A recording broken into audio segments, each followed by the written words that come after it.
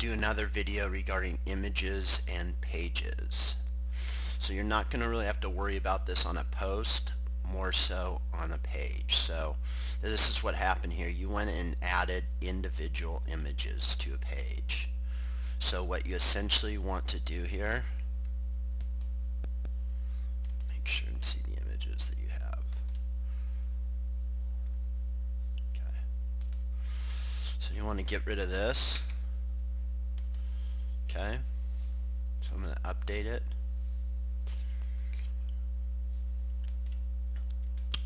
I'm going to add media again because just because you deleted it just means you deleted it off the page. So if you notice all those images were warped, uh, they just did not look very good. So I just hold the shift button down. Okay, so this is the important part right here.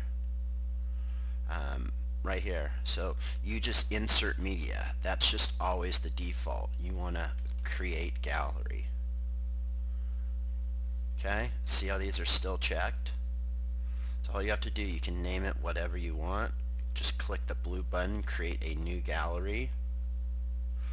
If you want a caption, you can put them there. I always click media file.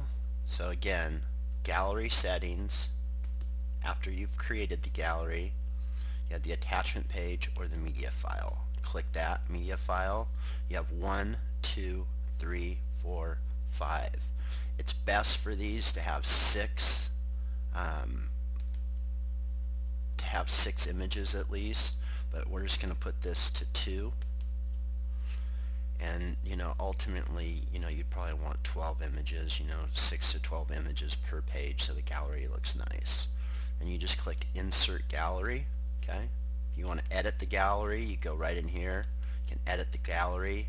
You can add another image to the gallery so you don't have to recreate it okay? You can change the columns right here. Update gallery. Always update. So the gallery just rearranges the page for you. View page to check our work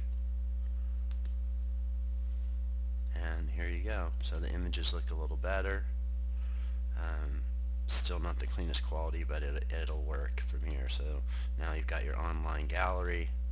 Uh, you're good to go. It's got the social media buttons in there. Okay so you know ultimately you'd want to get um, more images on here. And this part here I can put whatever whatever you want here. So we can put maps. I can just have it all one page. So I'm just kind of waiting so whatever you guys want to put there, if you want me to decide and do that, I'm happy to do that as well. So again, this is the widget area. We'll just call this the sidebar widgets. All right. Hope that helped.